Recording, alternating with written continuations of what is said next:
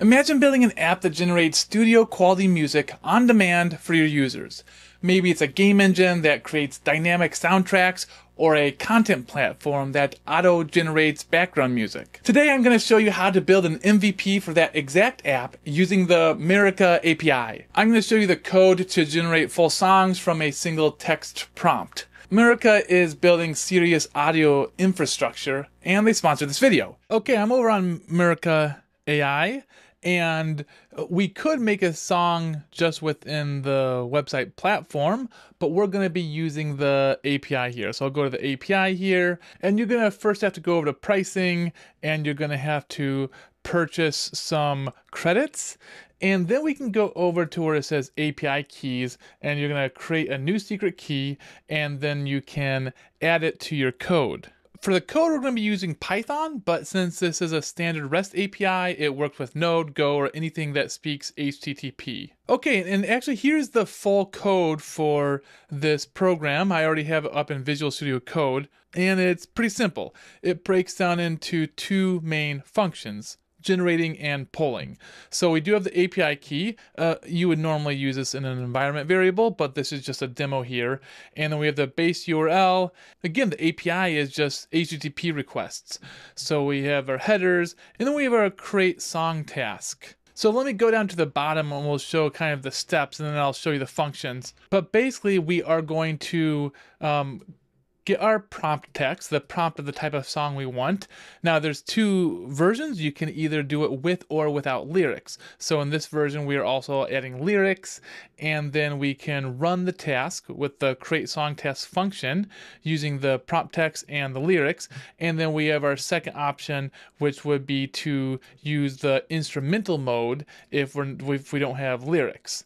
And then we're going to pull for completion for when the, the song is uh, completed.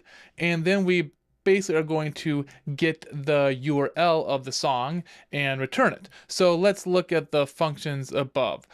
The create song task, it's either going to be an instrumental or it's going to be a song with lyrics. So here's, there are two API endpoints, the song slash generate when we have lyrics or instrumental slash generate when there are no lyrics.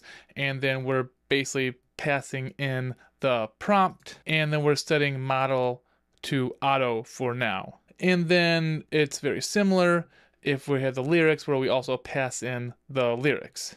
Now we can also pass in style tags. And then we're going to post to the endpoint and we are going to get the task ID if it's started, or there's going to be no task ID.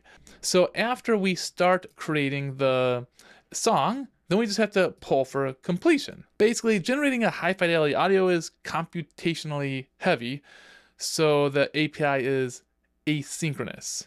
We're not going to get the MP3 immediately, so instead we're getting the task ID, and then we just pass that task ID to our polling function. And then we have a while loop where we're just going to keep calling the this endpoint here to see if the task is completed. And basically we're either going to be getting an error or we're gonna get the status as succeeded or failed cancel timeout and we're basically waiting for it to be succeeded and we're gonna return the data. And then if we come down here, once we get the data, it's we're going to get the URL to put it to the terminal. So let's try this out. So since this is an M MVP, we're just hard coding everything, such as the prompt text for the song and the lyrics. I'm going to go do my, to my terminal and then just run the song.py and we can see that it's sending the song request and it started, and then it's just going to keep pulling for results until the song is complete. Okay, and then success, your audio is ready. So we can take this URL and then we can download the song.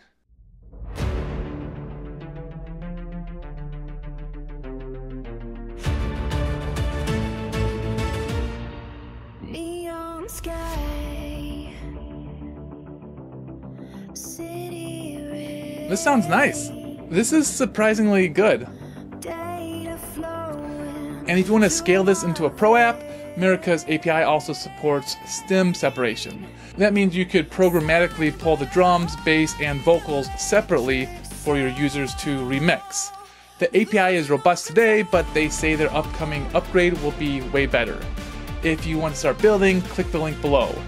And remember to use your code for good.